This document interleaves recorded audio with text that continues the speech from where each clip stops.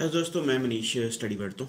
Student ਜਨਵਰੀ intake Canada ਵਿੱਚ apply ਕਰਨਾ ਚਾਹੁੰਦੇ ਨੇ ਬਟ ਕਾਫੀ ਇਸ ਟਾਈਮ ਕਨਫਿਊਜ਼ਨ ਹੈ ਸਟੂਡੈਂਟਸ ਨੂੰ ਵੀ ਵੀ ਕਿਹੜੇ ਗਵਰਨਮੈਂਟ ਕਾਲਜਸ ਜਾਂ ਪਬਲਿਕ ਕਾਲਜਸ ਜਾਂ ਪੋਸਟ ਸਟੱਡੀ ਵਰਕ ਰਾਈਟਸ ਵਾਲੇ ਕਾਲਜਸ ਇਸ ਟਾਈਮ ਅਵੇਲੇਬਲ ਰਹਿਣਗੇ ਸਟੂਡੈਂਟਸ ਵਾਸਤੇ, ਜਿਹਦੇ ਵਿੱਚ ਵੀ ਬੱਚਾ ਅਪਲਾਈ ਕਰ ਸਕਦਾ ਹੈ ਤੇ ਜਨਵਰੀ ਇਨਟੇਕ ਇਨਟੇਕ ਜਿਹਦੇ ਵਿੱਚ ਅਵੇਲੇਬਲ ਮੈਂ ਤੁਹਾਡੇ ਇਸ ਵੀਡੀਓ 'ਚ ਜੀ ਮੈਂ ਤੁਹਾਨੂੰ ਦੱਸੂੰਗਾ ਵੀ ਕਿਹੜੇ ਕਿਹੜੇ ਕੋਰਸਸ ਜਿਹੜੇ ਜਨਰਲ ਕੋਰਸਸ ਜਿਵੇਂ ਆਪਾਂ ਗੱਲ ਕਰੀਏ ਵੀ ਆਮ ਤੌਰ ਤੇ ਪਲੱਸ 2 ਦਾ ਬੱਚਾ ਜਿਹੜਾ ਆਪਟ ਕਰਦਾ ਵੀ ਕਿੱਥੇ ਕਿੱਥੇ ਅਵੇਲੇਬਿਲਿਟੀ ਹੋ ਸਕਦੀ ਹੈ। ਸਟਾਰਟ ਕਰਾਂਗੇ ਜੀ ਵੀ BC ਦੇ ਵਿੱਚ BCIT British Columbia institute of technology ਦੇ ਵਿੱਚ ਕੋਰਸ ਅਵੇਲੇਬਲ ਹੈਗਾ ਜੀ। ਇੰਟੀਰੀਅਰ ਡਿਜ਼ਾਈਨ ਦਾ ਹੈਗਾ।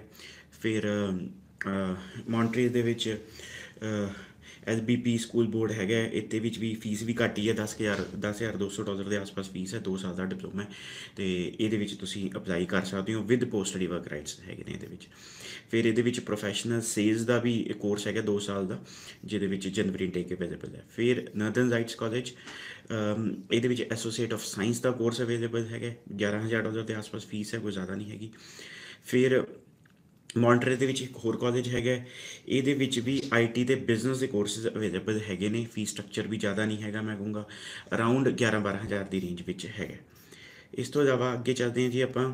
ਸੇਂਟ ਕਲੀਅਰ ਦਾ ਵਿੰਡਸਰ ਕੈਂਪਸ ਹੈਗਾ ਹੈ। ਕੰਪਿਊਟਿੰਗ ਦਾ ਪ੍ਰੋਗਰਾਮ ਅਵੇਲੇਬਲ ਹੈਗਾ ਜਨਵਰੀ ਇਨਟੇਕ ਵਾਸਤੇ ਇਹਨਾਂ ਕੋਲ। Computer assistant technician mechanical technician ਇਹ ਕੋਰਸਸ ਅਵੇਲੇਬਲ ਹੈਗੇ ਨੇ। ਇਸ ਤੋਂ ਇਲਾਵਾ ਆਪਾਂ ਚ- ਅੱਗੇ ਚੱਲਦੇ ਹਾਂ ਜੀ ਜਿੱਥੇ ਕੋਰਸ ਅਵੇਲੇਬਿਲਿਟੀ ਹੋ ਸਕਦੀ ਹੈ ਇਸ ਟਾਈਮ ਤੇ। ਤੇ ਫਿਰ ਆ ਗਿਆ ਜੀ ਤੁਹਾਡਾ ਯਾਰਕਵਿਲ ਯੂਨੀਵਰਸਿਟੀ ਜਨਵਰੀ ਟੇਕ ਇਸ ਟਾਈਮ ਅਵੇਲੇਬਲ ਹੈਗਾ, ਫਿਲਹਾਲ ਓਪਨ ਹੈ 15000 ਡਾਲਰ ਫੀਸ ਹੈਗੀ ਹੈ, ਜ਼ਿਆਦਾ ਨਹੀਂ ਹੈਗੀ 6 ਬੈਂਡ ਚਾਹੀਦੇ ਨੇ ਓਵਰਆਲ ਤੇ ਅਗਰ ਕਿਸੇ ਚ 5 5.5 ਵੀ ਹੈਗੇ ਨੇ, ਉਹ ਵੀ ਸੈਪਟੇਬਲ ਰਹਿਣਗੇ ਬਟ ਮੈਂ ਕਹੂੰਗਾ ਵੀ 6 ਬੈਂਡ ਓਵਰਆਲ 5.5 ਤੋਂ ਘੱਟ ਨਹੀਂ, ਅਗਰ ਹੈਗੇ ਆ ਤੁਹਾਡੇ ਤੇ ਫੇਰ ਹੀ ਇਹਦੇ ਵਿੱਚ ਅਪਲਾਈ ਕਰੋ ਤੇ ਸਕਸੈਸਫੁਲ ਰਹੋਗੇ। ਤੇ ਆਫਰ ਲੈਟਰ ਵੀ ਜਲਦੀ ਆ ਰਹੀ ਹੈ ਇਹਦੇ ਵਿੱਚ ਤੇ ਇਹ ਵੀ ਤੁਸੀਂ ਆਪਟ ਕਰ ਸਕਦੇ ਹੋ। ਫਿਰ ਇਹਦੇ ਵਿੱਚ ਕੋਰਸਿਸ ਵੀ ਜਿਹੜੇ ਹੈਗੇ project management ਅਰਦੀ energy management supply chain management accounting business management ਕਾਫੀ ਤਰੀਕੇ ਦੇ ਸਪੈਸ਼ਲਾਈਜੇਸ਼ਨ ਹੈ। ਬੈਚਲਰ ਆਫ ਬਿਜ਼ਨਸ ਦਾ ਕੋਰਸ ਹੈਗਾ ਇਹਦੇ ਵਿੱਚ। ਫਿਰ ਅੱਗੇ ਆ ਜਾਂਦੇ ਜੀ ਆਪਣੇ ਸੈਨਿਕਾ ਵਿੱਚ ਬਿਜ਼ਨਸ ਮੈਨੇਜਮੈਂਟ ਦਾ ਡਿਪਲੋਮਾ ਅਵੇਲੇਬਲ ਹੈ 15000 ਫੀਸ ਹੈਗੀ ਹੈ। S Algonquin New York North York ਚ ਇੰਟਰ ਇੰਟਰਐਕਟਿਵ ਮੀਡੀਆ ਡਿਜ਼ਾਈਨ ਇਹ ਕੋਰਸ ਅਵੇਲੇਬਲ ਹੈਗਾ ਜੀ।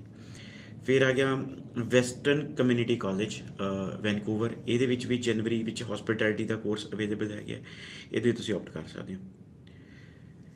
Assiniboine point community college Brandon Manitoba ਚ।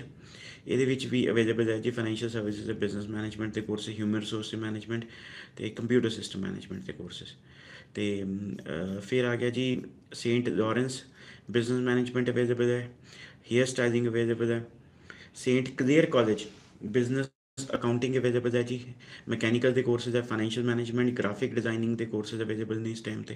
ਕਿਉਂਕਿ ਇਹਦੇ ਵਿੱਚ ਕੀ ਹੈ ਵੀ ਜੋ ਮੈਂ ਤੁਹਾਨੂੰ ਦੱਸ ਰਿਹਾ ਨਾ, ਜ਼ਰੂਰੀ ਨਹੀਂ ਹੈਗਾ ਵੀ ਇੱਕ ਕੋਰਸ ਜਿਹੜਾ ਹੈਗਾ ਤੁਸੀਂ ਜਿਹੜਾ ਤੁਸੀਂ ਕਰਨਾ ਚਾਹੁੰਦੇ ਹੋ ਕਿਸੇ ਪਾਰਟਿਕੂਲਰ ਕਾਲਜ 'ਚ, ਵੀ ਉਹ ਅਵੇਲੇਬਲ ਹੋਣਾ ਜ਼ਰੂਰੀ ਹੈਗਾ। ਇਹ ਨਹੀਂ ਹੈਗਾ ਵੀ ਡਿਪੈਂਡ ਕਰਦਾ ਵੀ ਕਈ ਚੀਜ਼ਾਂ, ਕਈ ਸੀਟਾਂ ਜਲਦੀ ਭਰ ਜਾਂਦੀਆਂ ਕਿਸੇ ਕਾਲਜ ਦੀਆਂ, ਵੀ ਤੁਸੀਂ ਕਿਸੇ ਨੂੰ ਪੁੱਛੋਗੇ ਜੀ, ਇਹ ਕਾਲਜ ਓਪਨ ਹੈ, ਹੋ ਸਕਦਾ ਤੁਹਾਨੂੰ ਕਹਿ ਦੇ ਵੀ ਨਹੀਂ ਓਪਨ ਬਟ ਹੋ ਸਕਦਾ ਉਹਦੇ ਵਿੱਚ ਕੋਈ ਪਾਰਟਿਕੂਲਰ ਸੀਟਸ ਅਵੇਲੇਬਲ ਹੋਣ, ਜਿਹੜੀਆਂ ਓਪਨ ਹੋਣ ਵੀ ਓਵਰਆਲ ਜਿਵੇਂ ਹੈਗਾ ਉਹਦੇ ਤੁਸੀਂ ਕਹੋ ਜੀ ਬਾਕੀ ਜਿਵੇਂ ਜਨਰਲ ਜਿਵੇਂ ਕੋਰਸਸ ਹੋ ਗਏ, ਜਿਵੇਂ ਉਹਦੇ ਜਿਹਦੀ ਜਿਹਦੀ ਜ਼ਿਆਦਾ ਡਿਮਾਂਡ ਹੈਗੀ ਹੈ ਤੇ ਉਹ ਕੋਰਸਸ ਨਾ ਅਵੇਲੇਬਲ ਹੋਣ, ਜੋ ਕਿ ਪਪੂਲਰ ਜਿਵੇਂ ਆਮ ਤੌਰ ਤੇ ਜਿਵੇਂ ਆਪਾਂ ਬਿਜ਼ਨਸ ਮੈਨੇਜਮੈਂਟ ਕਹਿ ਦਈਏ ਆਈਟੀ ਦੇ ਕੋਰਸਸ ਕਹਿ ਦਈਏ, ਵੀ ਇਹ ਇਹ ਹੋ ਸਕਦਾ ਕਿ ਨਾ ਅਵੇਲੇਬਲ ਹੋਣ ਬਟ ਹੋਰ ਬਥੇਰੇ ਕੋਰਸ ਕਿਉਂਕਿ ਇਹ ਸਾਰੇ ਗਵਰਨਮੈਂਟ ਕਾਲਜਸ ਨੇ, ਇੱਕ ਇੱਕ ਕਾਲਜ 'ਚ ਘੱਟੋ ਘੱਟ 100 100 ਕੋਰਸ ਪੜਾਇਆ ਜਾਂਦਾ ਤੇ ਇਸ ਕਰਕੇ ਜ਼ਰੂਰੀ ਨਹੀਂ ਹੈ ਕਿ ਉਹ ਪਾਰਟਿਕੂਲਰ ਕੋਰਸ ਅਵੇਲੇਬਲ ਹੈ ਦੂਸਰਾ ਕੋਰਸ ਅਵੇਲੇਬਲ ਹੋ ਸਕਦਾ ਇਸ ਕਰਕੇ ਮੈਂ ਤੁਹਾਨੂੰ ਕੋਰਸਸ ਦੇ ਨਾਮ ਵੀ ਨਾਲ ਨਾਲ ਤੁਹਾਨੂੰ ਦੱਸਣ ਦੀ ਕੋਸ਼ਿਸ਼ ਕਰ ਰਿਹਾ ਇਸ ਤੋਂ ਇਲਾਵਾ ਜੀ ਜਾਰਜ ਬ੍ਰਾਊਨ ਕਾਲਜ 'ਚ ਵੀ ਸਪਲਾਈ ਚੇਨ ਮੈਨੇਜਮੈਂਟ ਫਿਰ ਹਿਊਮਨ ਰਿਸੋਰਸਸ ਇੰਟਰਨੈਸ਼ਨਲ ਬਿਜ਼ਨਸ ਇਹ ਕੋਰਸਸ ਅਵੇਲੇਬਲ ਨੇ। ਫਿਰ ਆ ਗਈ ਜੀ ਆਈਬੀਯੂ ਇੰਟਰਨੈਸ਼ਨਲ ਬਿਜ਼ਨਸ ਯੂਨੀਵਰਸਿਟੀ ਇਹਦੇ ਵਿੱਚ ਵੀ ਅਵੇਲੇਬਿਲਿਟੀ ਹੈਗੀ ਹੈ ਜਨਵਰੀ ਟੇਕ ਦੇ ਵਿੱਚ। ਫਿਰ ਅੱਗੇ ਆਪਾਂ ਚੱਲਦੇ ਹਾਂ ਜੀ ਜਿੱਥੇ ਅਵੇਲੇਬਿਲਿਟੀ ਹੋ ਸਕਦੀ ਹੈ ਇਸ ਟਾਈਮ ਤੇ। ਸੈਂਟੀਨੀਅਰ ਕਾਲਜ 'ਚ ਕੁਝ ਸੀਟਸ ਅਵੇਲੇਬਲ ਹੈ, ਜਿਵੇਂ food and beverage management hotel operations management ਤੇ ਇਹ ਜਿਹੜੇ ਹੈਗੇ ਨੇ ਕੋਰਸਸ ਅਵੇਲੇਬਲ ਨੇ। ਇਸ ਤੋਂ ਇਲਾਵਾ ਆਪਾਂ ਗੱਲ ਕਰੀਏ ਜਿਵੇਂ ਯੂਨੀਵਰਸਿਟੀਜ਼ ਦੇ ਵਿੱਚ ਜਿਵੇਂ ਯੂਨੀਵਰਸਿਟੀ ਆਫ ਕੈਨੇਡਾ ਵੈਸਟ ਹੈ। ਇਹਦੇ ਵਿੱਚ ਵੀ ਜਨਵਰੀ ਇਨਟੇਕ ਫਿਲਹਾਲ ਓਪਨ ਹੈ ਤੇ ਇਹਦੇ ਵਿੱਚ ਕੋਰਸਿਸ ਐਸੋਸੀਏਟ ਡਿਗਰੀ ਹੈਗੀ ਹੈ ਜੋ 2 ਸਾਲ ਦੀ ਹੈਗੀ ਹੈ with post study work rights ਹੈ। ਫਿਰ ਬੈਚਲਰ ਹੈਗੇ ਇਹਦੇ ਵਿੱਚ ਕੋਰਸਿਸ ਤੇ ਮਾਸਟਰਸ ਦੇ ਕੋਰਸਿਸ ਨੇ। ਤੇ ਸਾਰੇ ਕੋਰਸਿਸ ਦੇ ਵਿੱਚ ਪੋਸਟ ਸਟੱਡੀ ਵਰਕ ਰਾਈਟਸ ਇਹਦੇ ਵਿੱਚ ਅਵੇਲੇਬਲ ਨੇ। ਤੇ ਸੀਟਸ ਜਿਹੜੀਆਂ ਹੈਗੀ ਜਨਵਰੀ ਇਨਟੇਕ ਵਾਸਤੇ ਅਵੇਲੇਬਲ ਹੈਗੀ ਤੇ ਇਸ ਤੋਂ ਇਲਾਵਾ ਅਗਰ ਬੱਚਾ ਅਪਲਾਈ ਕਰਨਾ ਚਾਹੁੰਦਾ ਹੈ ਤੇ ਜਨਵਰੀ ਹੀ ਅਪਲਾਈ ਕਰਨਾ ਚਾਹੁੰਦਾ ਹੈ ਜਾਂ ਉਹਦਾ ਕੋਈ ਗੈਪ ਦਾ ਇਸ਼ੂ ਬਣ ਰਿਹਾ ਵੀ ਉਹ ਸਾਡਾ 22 ਪਾਸ ਆਊਟ ਹੈਗਾ ਤੇ ਬੱਚੇ ਨੂੰ ਐਵੇਂ ਜਲਦੀ ਤੋਂ ਜਲਦੀ ਮੈਂ ਅਪਲਾਈ ਕਰਦਾ। ਤੇ ਮੈਂ ਇਹ ਕਹੂੰਗਾ ਵੀ ਤੁਸੀਂ ਪ੍ਰਾਈਵੇਟ ਕਾਲਜ 'ਚ ਵੀ ਅਪਲਾਈ ਕਰ ਸਕਦੇ ਹੋ। ਪ੍ਰਾਈਵੇਟ ਕਾਲਜਸ ਕਈ ਐਸੇ ਨੇ ਜਿਹਦੇ ਵਿੱਚ ਪੋਸਟ ਸਟੱਡੀ ਵਰਕ ਰਾਈਟਸ ਹੈਗੇ ਨੇ, ਅਗਰ ਉਹ ਬੈਚਲਰ ਜਾਂ ਮਾਸਟਰਸ ਪੜ੍ਹਾਉਂਦੇ ਨੇ। ਕਈ ਜਗ੍ਹਾ ਤੇ ਪਾਥਵੇ ਪ੍ਰੋਗਰਾਮਸ ਹੁੰਦੇ ਨੇ ਵੀ ਇੱਕ ਸਾਲ ਦਾ ਡਿਪਲੋਮਾ ਤੁਹਾਨੂੰ ਇੱਕ ਪ੍ਰਾਈਵੇਟ ਕਾਲਜ 'ਚ ਹੋਏਗਾ, ਉਸ ਤੋਂ ਬਾਅਦ ਕਿਸੇ ਪਬਲਿਕ ਕਾਲਜ ਜਾਂ ਪੋਸਟ ਸਟੱਡੀ ਵਰਕ ਰਾਈਟਸ ਵਾਲੇ ਕਾਲਜ ਵਿੱਚ ਤੁਹਾਨੂੰ ਅੱਗੇ ਫਰਦਰ ਡਿਗਰੀ ਜਾਂ ਐਡਵਾਂਸ ਡਿਪਲੋਮਾ ਕਰਾਇਆ ਜਾਏਗਾ। ਜਾਂ ਫਿਰ ਤੁਸੀਂ ਪਿਓਰ ਪ੍ਰਾਈਵੇਟ ਕਾਲਜ ਨੂੰ ਆਪਟ ਕਰ ਸਕਦੇ ਹੋ ਵੀ ਇੱਕ ਵਾਰੀ ਤੁਹਾਡੀ ਐਂਟਰੀ ਹੋ ਜਾਂਦੀ ਜਿਹਦੇ ਵਿੱਚ ਖਰਚਾ ਵੀ ਘੱਟ ਆਉਂਦਾ ਇੱਕ ਵਾਰੀ ਤੁਸੀਂ ਕੈਨੇਡਾ ਪਹੁੰਚ ਜਾਂਦੇ ਹੋ ਥੋੜਾ ਸੈਟਲ ਹੋ ਜਾਂਦੇ ਹੋ 6 ਮਹੀਨੇ, ਸਾਲ। ਉਹ ਉਨੀ ਦੇਰ ਤੁਹਾਨੂੰ ਟਾਈਮ ਮਿਲ ਜਾਂਦਾ ਅੱਗੇ ਆਪਦੇ ਬਾਰੇ ਸੋਚਣ ਦਾ। ਤੇ ਜਿਹੜੇ ਤੁਸੀਂ ਉੱਥੇ ਪੜ੍ਹਾਈ ਕਰੋਗੇ, ਉਹ ਕੈਰੀ ਫਾਰਵਰਡ ਜਿਹੜੇ ਹੈਗੇ ਨੇ, ਉਹਦੇ ਯੂਨਿਟਸ ਹੈ ਤੇ ਕ੍ਰੈਡਿਟਸ ਨੇ ਕੈਰੀ ਫਾਰਵਰਡ ਕਿਸੇ ਹੋਰ ਕਾਲਜ ਚ ਕਰਾ ਸਕਦੇ ਹੋ, ਜਿਹੜੇ ਵਿੱਚ ਪੋਸਟ ਸਟੱਡੀ ਵਰਕ ਰਾਈਟਸ ਹੋਣ। ਤੇ ਇਹ ਸਾਰੀਆਂ ਚੀਜ਼ਾਂ ਆਪਸ਼ਨਸ ਅਵੇਲੇਬਲ ਨੇ। ਇਹ ਜਿਹੜੀ ਆਖਰੀ ਆਪਸ਼ਨ ਹੈ ਇਸ ਨੂੰ ਮੈਂ ਦੁਬਾਰਾ ਸਮਝਾਉਣਾ ਚਾਹੂੰਗਾ। ਜਿਵੇਂ ਸਪੋਜ਼ ਕਰੋ ਤੁਸੀਂ ਕੋਈ ਡਿਪਲੋਮਾ ਫੜ ਲਿਆ ਜੀ ਬਿਜ਼ਨਸ ਮੈਨੇਜਮੈਂਟ ਦਾ ਜਾਂ ਹਸਪਿਟੈਲਿਟੀ ਦਾ।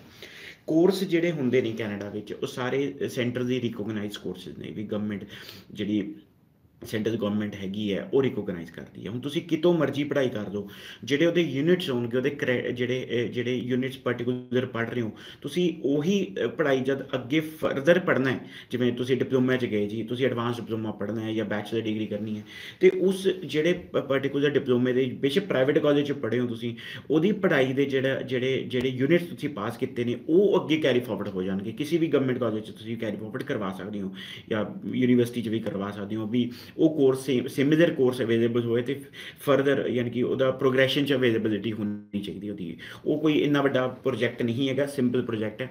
ਜ਼ਿਆਦਾਤਰ ਬੱਚੇ ਕੀ ਕਰਦੇ ਪ੍ਰਾਈਵੇਟ ਕਾਲਜ ਜਾ ਕੇ ਪੜ੍ਹਦੇ ਨਹੀਂ ਜਾਂ ਪਾਸ ਨਹੀਂ ਹੁੰਦੇ ਜਾਂ ਕਲਾਸਾਂ ਨਹੀਂ ਅਟੈਂਡ ਕਰਦੇ, ਉਹਨਾਂ ਨੂੰ ਲੱਗਦਾ ਵੀ ਹਾਂ, ਮੈਨੂੰ ਪੋਸਟ ਵਰਕ ਰਾਈਟਸ ਨਹੀਂ ਮਿਲਣਗੇ।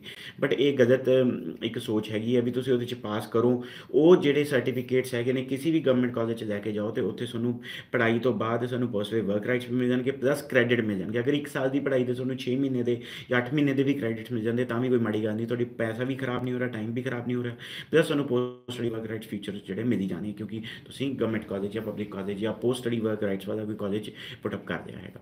ਇਸ ਤੋਂ ਇਲਾਵਾ ਮੌਂਟਰੇਲ ਇੱਕ ਵਧੀਆ ਆਪਸ਼ਨ ਹੈਗੀ ਹੈ ਸਟੂਡੈਂਟਸ ਵਾਸਤੇ ਜਿਨ੍ਹਾਂ ਕੋਈ ਜਨਵਰੀ ਇਨਟੇਕ ਜਿਹੜੇ ਜਾਣਾ ਚਾਹੁੰਦੇ ਨੇ, ਤੇ ਇਹਦੇ ਵਿੱਚ ਵੀ ਥੋੜੀ ਸਪੀਡ ਅਪ ਤਰੀਕੇ ਨਾਲ ਐਡਮਿਸ਼ਨਸ ਵੀ ਆ ਰਹੀਆਂ ਤੇ ਜਿਹੜੀ ਐਲੋਏ ਹੈ ਉਹ ਵੀ ਬਹੁਤ ਜਲਦੀ ਆ ਰਹੀ ਹੈ। ਇਨਫੈਕਟ ਵੀ ਅਗਰ ਤੁਸੀਂ ਗੱਲ ਕਰੋ ਵੀ 10 15 ਦਿਨਾਂ ਦੇ ਵਿੱਚ ਵਿੱਚ ਵੀ ਤੁਹਾਨੂੰ ਐਲੋਏ ਜਿਹੜੀ ਹੈਗੀ ਤੁਹਾਡੇ ਹੱਥ 'ਚ ਆ ਸਕਦੀ ਹੈ।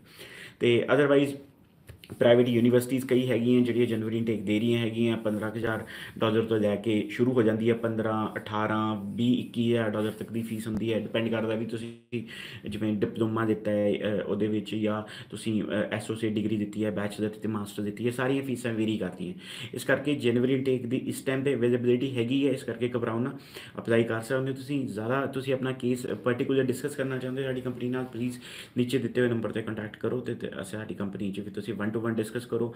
ਤੁਹਾਡਾ ਗੈਪ ਹੈਗਾ ਪੜ੍ਹਾਈ 'ਚ, ਘੱਟ ਸਕੋਰ ਹੈ ਪੀਟੀ ਦੇ ਵਿੱਚ ਆਇਲਸ ਦੇ ਵਿੱਚ ਜਾਂ ਪਰਸੈਂਟੇਜ ਲੋ ਹੈ ਤੁਹਾਡੀ ਜਾਂ ਕਿਤੇ ਤੁਹਾਡੇ ਪਹਿਲਾਂ ਤੋਂ ਰਿਜੈਕਟਡ ਹੋ ਤੁਸੀਂ ਕੈਨੇਡਾ ਵਿੱਚ ਇੱਕ ਜਾਂ ਮਲਟੀਪਲ ਟਾਈਮਸ ਰਿਜੈਕਟਡ ਹੋ ਜਾਂ ਤੁਹਾਡਾ ਟੂਰਿਸਟ ਵੀਜ਼ਾ ਦੀ ਰਿਜੈਕਸ਼ਨ ਹੈ ਤੇ ਹੁਣ ਤੁਸੀਂ ਸਟੂਡੈਂਟ ਵੀਜ਼ਾ ਅਪਲਾਈ ਕਰਨਾ ਚਾਹੁੰਦੇ ਹੋ। ਬੇਖੌਫ ਹੋ ਕੇ ਬਿਨਾ ਕਿਸੇ ਟੈਨਸ਼ਨ ਦੇ ਤੁਸੀਂ ਸਾਡੀ ਕੰਪਨੀ ਕੰਟੈਕਟ ਕਰ ਸਕਦੇ ਹੋ ਤੇ ਨਾਲ ਆਪਣਾ ਕੇਸ ਡਿਸਕਸ ਕਰਕੇ ਆਪਣਾ ਸਕਸੈਸਫੁਲੀ ਕੈਨੇਡਾ ਦਾ ਵੀਜ਼ਾ ਲੈ ਸਕਦੇ ਹੋ। Thank you thank you very much